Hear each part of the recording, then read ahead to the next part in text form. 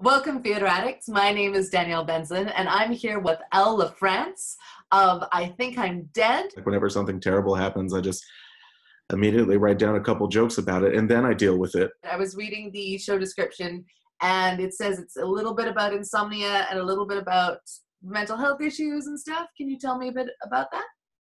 Yeah, the way I usually pitch it is that it's about insomnia, parallel universes, and how I'm not convinced any of us are actually real.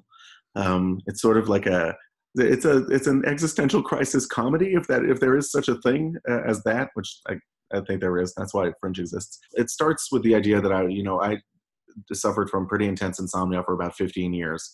Uh, and so it, I started writing about how that affected my life, but then it also really dives into how uh, how I've dealt with depression and how depression has uh, had an effect on my different family members over time yeah i think it's it's really important for us to openly discuss mental health. I'm happy that we've all like collectively uh, been making good strides at that but there's still a lot of room there uh, for progress.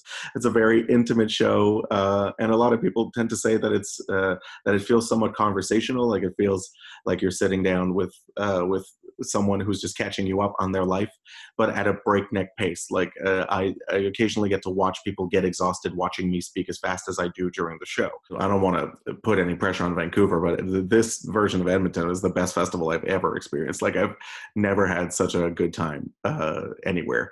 Where I got dual five star reviews on opening weekend, and I sold out uh, seven out of ten shows. Uh, which is just like a crazy run for me. So I was drunkenly browsing Craigslist one night, uh, and there was an ad for like they needed volunteers for the Montreal Fringe, and like one of the things it says was theater, and I was like, I guess I'll see whatever this is.